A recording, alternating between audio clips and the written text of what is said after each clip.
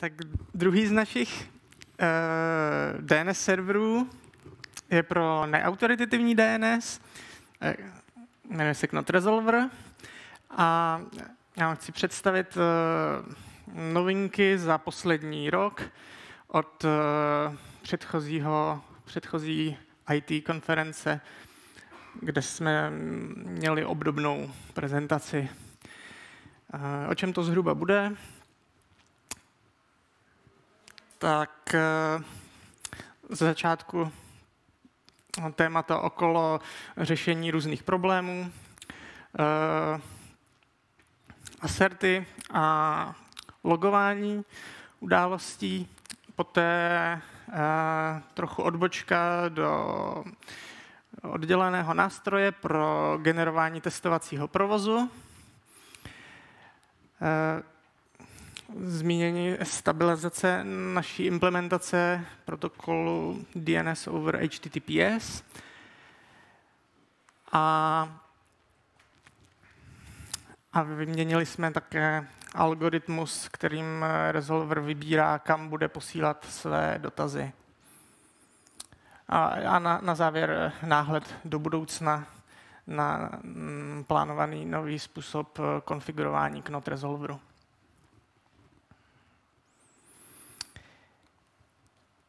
Tak, první téma, na kterém jsme pracovali, byly aserty, e, což teda samozřejmě snažíme Resolver maximálně otestovat, většinou eh, plně automatickými testy, ale s, není možné se zbavit úplně 100% chyb a předvídat zcela každou situaci a proto máme uvnitř kódu eh, rozesetá místa, které eh, kontrolují konzistenci části stavu, vnitřního stavu resolveru. A, a v těchto situacích, pokud nastane, detekujeme nějaký problém, eh, tak jako jednak je cílem teda vůbec zjistit, že nějaký problém nastal a pak také na to nějak reagovat, eh, usnadnit jeho odstranění a zabránit v danou chvíli šíření toho problému. A, a často jsme nastávalo dilema, co přesně eh, v danou chvíli udělat. Eh, Jedna z možností je nechat eh, proces eh, v ten moment spadnout, což má výhodu v tom, že vygenerováním core dumpu získáme více informací a bývá to často velmi nápomocný k, k rychlému vyřešení zdroje problému. A mm, druhá standardní možnost je snažit se z toho problému zotavit eh, a tím minimalizovat narušení dané služby. Eh, například selže jenom jeden dotaz od uživatele, ve kterém ta chyba nastala, pokud zrovna má ta, ta, ta detekovaná chyba charakter, že, že to vypadá, že, že se nebude šířit do ostatních eh, dotazů. Uh, to, jako, tohle nám ne, nepřipadalo jako dobré. On teda ten, ten restart toho procesu není v případě Knot Resolveru až tak uh, velké narušení provozu. To je s, souvisí s architekturou Knot Resolveru. Jednak, že máme od, oddělené jednovláknové procesy, kterých si velká služba pustí víc. A a jaksi supervizor těch procesů, typicky systém D, je v případě potřeby restartuje, což eh, je ten start a restart je velmi rychlý zlomek vteřiny a zároveň přitom ani nedojde ke ztrátě keše, která je sdílená mezi těmi procesy dohromady. Ale i tak jsme to chtěli zlepšit a ukázalo se, že není tak těžké dosáhnout obou, vzít si to lepší z obou těch možností tohoto dilema. A tedy technicky to funguje tak, že ten proces eh, se forkne, tedy vytvoří svoji identickou kopii a, a tuto kopii nechá okamžitě spadnout, tím, čímž se vygeneruje ten core dump, ta data, která potřebujeme, ale ten původní proces sám se může pokusit zotavit a pokračovat bez narušení té služby.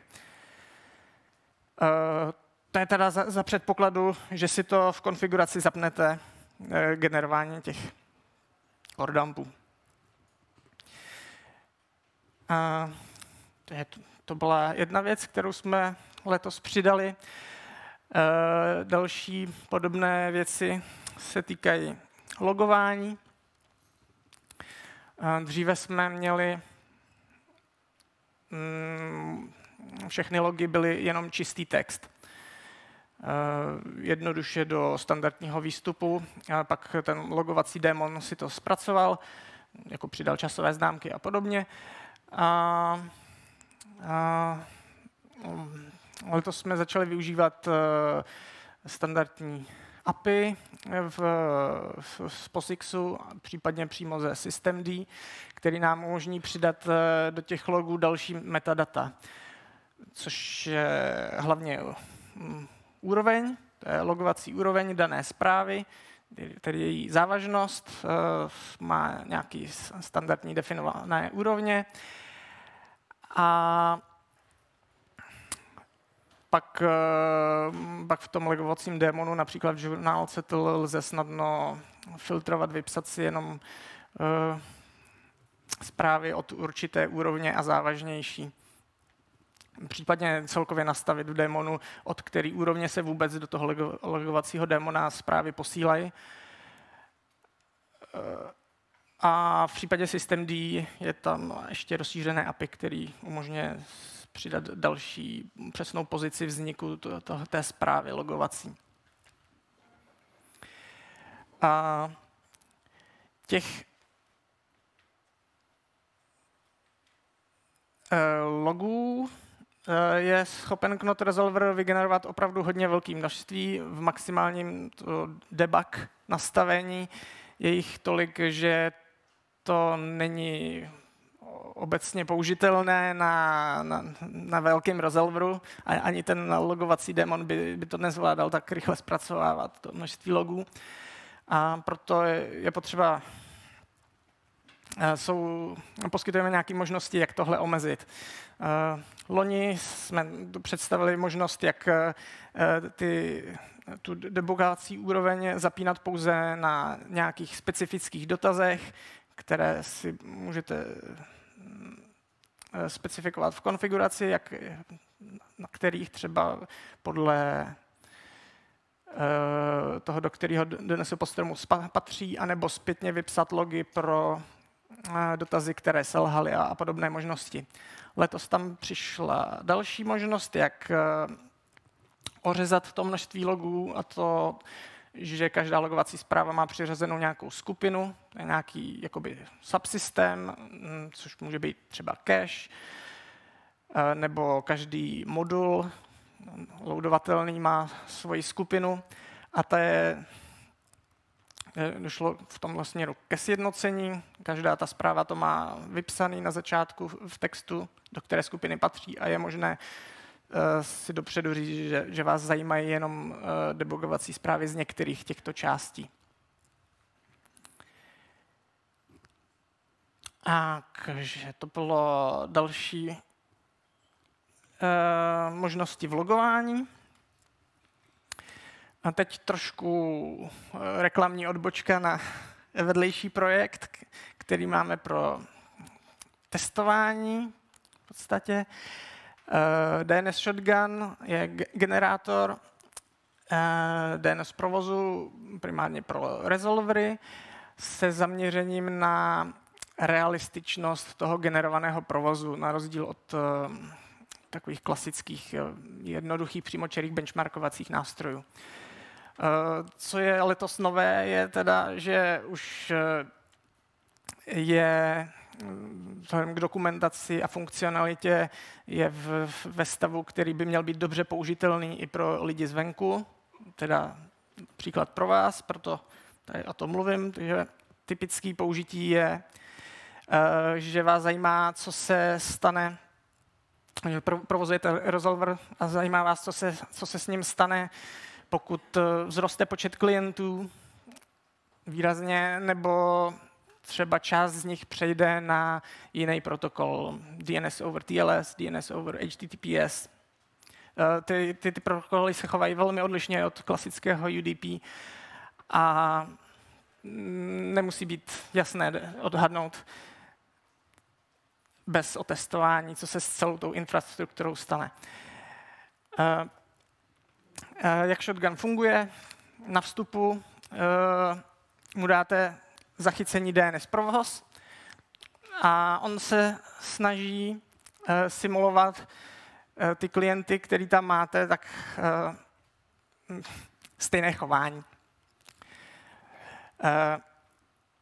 Akorát samozřejmě ten provoz není přehrán úplně přesně, můžete si nakonfigurovat nějaké změny, třeba podíl těch různých protokolů a u, u těch novějších protokolů navíc jsou, jsou tam nějaká spojení, to znamená, lze konfigurovat, jakým způsobem se klienti k těm spojením chovají. Ka, simulují se skutečně ty jednotliví klienti, to znamená, oni si otvírají svá spojení, drží je nějakou definovanou dobu otevřená, posílají po nich ty dotazy a pak, pak je zavírají. A, a je možné nakonfigurovat teda, že těch klientů je tam více což eh, je jakési zrychlení toho provozu, ale není to úplně přesně jak si to hloupé časové zrychlení, protože v něm by došlo jakoby ke kompresi času, což eh, ovlivňuje některá chování z hlediska třeba tam, tam, kde rozdíly času hrají roli, to znamená DNS cache těch jednotlivých klientů, jak se chová a, a otevírání, zavírání spojení a podobné věci. Takže to byl DNS Shotgun. Hmm, doporučuji vyzkoušet, pokud provozujete Resolver. Uh, tak uh, trochu podobné téma um, je DNS over HTTPS protože právě hlavně na testování těchto nových protokolů se hm, Shotgun hodí, respektive oproti jiným nástrojům. My jsme už, už loni jsme představili novou implementaci DNS over HTTPS pro Knot Resolver, napsanou v C nad populární knihovnou libng HTTP2. Místo předchozí varianty, která byl jakýsi prototyp v Lua, co letos došlo k jejímu doladění. Eh, prostě ne, ne, ne všechno lze, lze, eh, všechny situace lze se daří zreprodukovat v laboratorním provozu, takže z, z, z experimentálního nasazení na našich otevřených rezolverech se ukázaly nějaké problémy v té implementaci, které eh, jsme doladili takže jako po, doporučuji migrovat na, na tuto novou implementaci, pokud stále náhodou používáte ještě tu starou. Uh, že ta, ta stará jak si zpočátku nebyla vhodná do produkce, ne, tam, tam se zdálo, že už, už jakoby ty Lua knihovny, na kterých to bylo postavené, nebyly, neměly dostatečnou robustnost, na, na, na skutečně jako seriózní DNS provoz. Ale jako pokud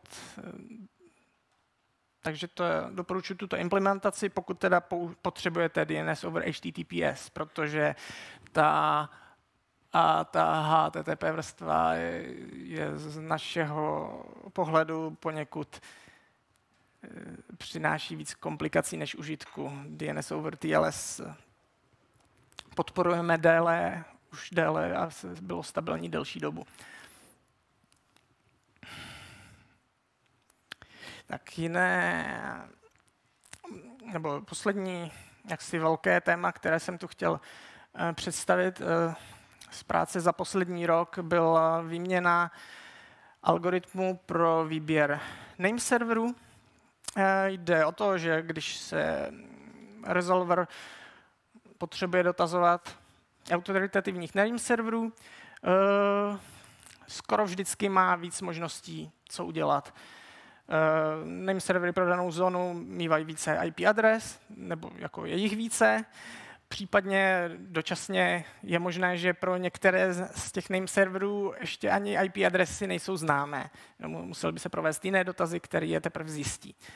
Takže tady je jaksi prostor pro výběr, který dělá rozdíl hlavně, pokud eh, prostě některý z těch name serverů buď nefungují, nebo jsou velmi vzdálené.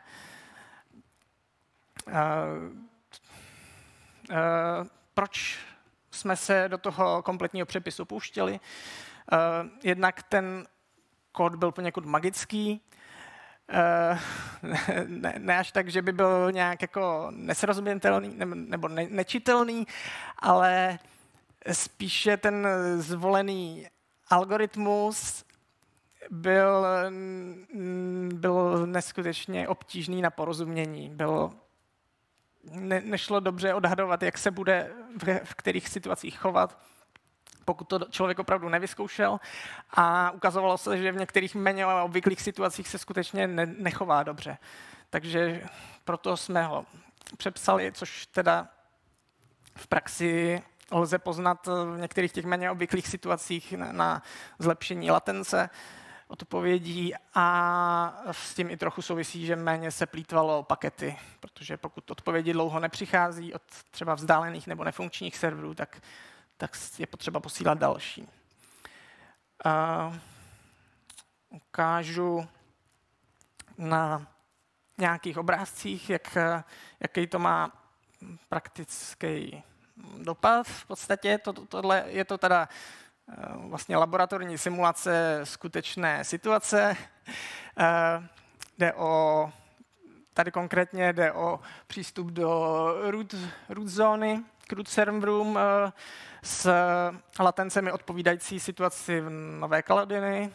To je relativně hm, odlehlé místo, ale přesto tam některé root servery Eh, mají velmi dobrou latenci, 10, 30 milisekund. A některé z nich pochopitelně 100, 200.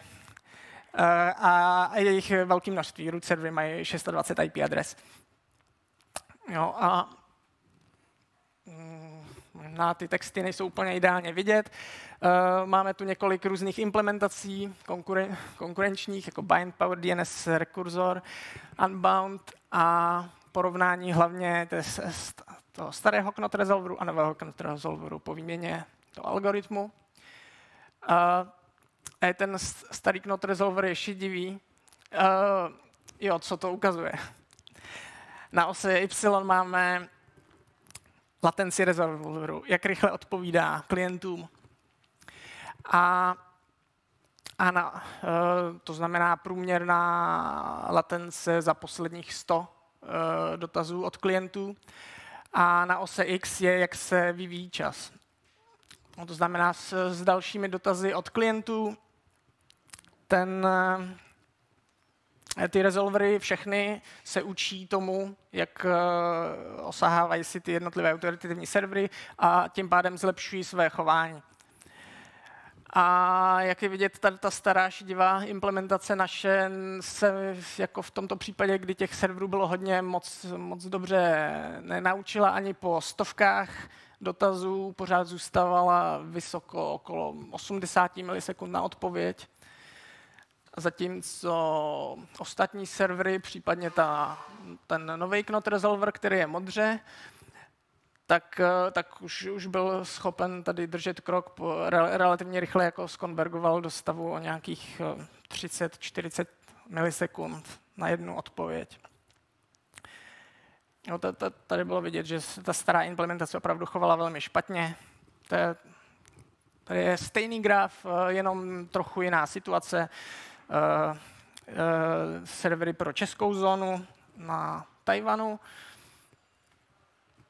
těch, těch serverů tady je teda méně, jenom 8 IP adres. To se zdá, že že ta stará implementace naše šedivá už nebyla tak až tak špatná, ale pořád, pořád jak si tady byl celkem vysoký prostor pro zlepšení, který, které skutečně nastalo, já nevím, z nějakých 50 milisekund a na hodnoty okolo 25. A tady jako je asi trošku vidět, že vyčnívá Unbound, který má tak nějak záměrně odlišnou strategii mm, výběru serverů a z, z, z nějakého důvodu chtějí jakoby rozkládat rozkládat zátěž rovnoměrně pro, pro více serverů i, i přesto, že nejsou úplně nejrychlejší. A ta, jako ten, ten důvod, proč ta stará implementace nedávala tady dobré výsledky, je, že, že v některých situacích prostě příliš velkou část dotazů stále posílala i na servery, o kterých věděla, že jsou pomalé. Uh, a tohle je situace, uh, zase ta root zóna v Nové Kaledonii, uh, kde opravdu velká část těch IP adres je pomalá přestože jsou tam některé rychlé a ta naše stará implementace pořád eh, i velká procent, velké procento dotazů posílala na, na všechny adresy. A byla to jenom velmi malá koncentrace na nějaké z těch rychlejších. A v, v porovnání ta, ta nová implementace už, už tady se kon, koncentruje na, na ty adresy mnohem více. Jo, a to, to, to teda není, není situace, že by ne, nebylo dost času se naučit, jak se ty servery chovají. To, tohle, tyhle ty grafy jsou celkově za, za 10 tisíc paketů k, k autoritativním, k, do, do té root zóny. Uh, takže to byla, to byla výměna tohoto algoritmu. Uh, a to byly teda všechny ty výrazné změny za poslední rok. Možná ještě, eh, abyste se mohli těšit na příští rok, plánujeme uh, poskytnout nový, novou možnost konfigurace Knot Resolveru. Uh,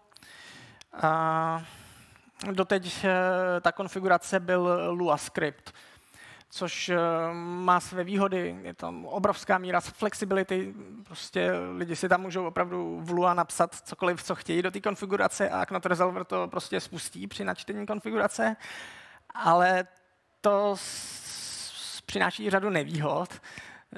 Prostě i ta Lua syntaxe je velmi slabá, překlep eh, jak si použití neexistujícího identifikátoru je obecně korektní v Lua, jenom to má nil hodnotu. A takže jakoby pro většinu uživatelů tohle nebyl úplně vhodný způsob a proto chceme poskytnout standardní strukturovanou konfiguraci v YAMLu, která bude mít silnou kontrolu korektnosti podle schématu. A, a to teda pořád, a tím, tímto chceme pokrýt skoro všechny Eh, use casey, skoro všechny uživatele, s tím, že pořád zůstane nějaká možnost si tam dodat to, co se nedaří v té standardní konfiguraci, do, dodat si kousek Lua a do, dořešit nějaký extra detaily. Jo, k tomu, k tomu mám jenom související průzkum. Dělali jsme loni průzkum mezi provozovateli Resolveru, jak je nastavují, jak je používají a podobně. Máme z toho relativně hodně provozovatelů, ne, nejen Knot Resolveru, ale celosvětově i jiných implementací. Zúčastnili se, máme z toho blogový článek i v češtině. Můžete si ho přečíst. A to by bylo z mých témat vše a pokud máte dotazy, tak rád se je pokusím zodpovědět. Tak, dotazy jsou na slajdu. Poprosím režii o přepnutí. Já přečtu první. Jak je velký problém je provozovat Cloud Resolver na operačním systému bez systém třeba s OpenRC? Tak uh, obecně naše podporované platformy jsou uh, v podstatě všechny POSIXové. To znamená, z těch běžných, kromě Windowsů, by to mělo běžet tak nějak všude. Sice většinou skutečně máme z, z zaměření na systém D nějaké extra vlastnosti umožňujeme používat, ale v principu rozhodně není problém uh, po, po, po, používat Knot Resolver bez systém D. Spíš jenom uh, naše balíčky, jakoby naše různé předpřipravené balíčky a podobně do, do Linuxových distribucí jsou typicky už do, do těch, který systém D mají, to znamená, uh, nemáme tam, jakoby ta, v principu by tam problémy žádný mít neměli, jenom prostě ty návody a, a podobné věci musí si tam daná buď distribuce, anebo daný uživatel trošku víc si tam nastavit nebo pohrát si s tím. Jako kdy, když tak prostě no, nám pište na naše support kanály a nějak si vám poradíme. Prima. Druhý dotaz. Jo, dle grafu s porovnáním to nevypadá jako top. A má smysl už v této chvíli používat místo bind Power DNS. To je uh, zřejmě teda reference na ty grafy pro algoritmus výběru uh, name serverů. Uh, tak, takhle.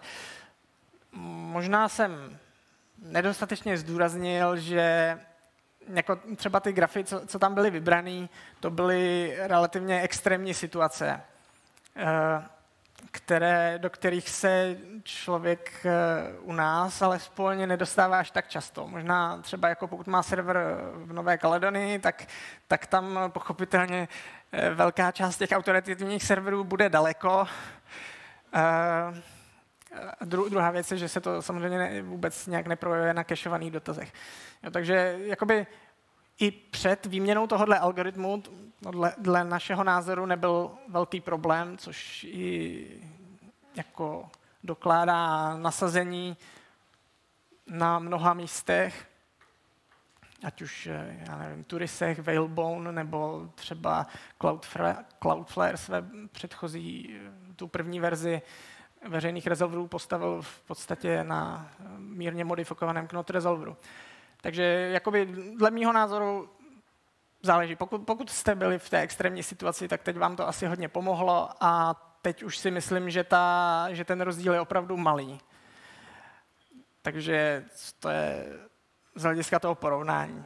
Ale samozřejmě záleží. Jako třeba zrovna Unbound se v, tom, v tomhle ohledu chová ještě hůře a ne, neslyšel jsem o tom, že by jako na to lidi nějak masivně stěžovali.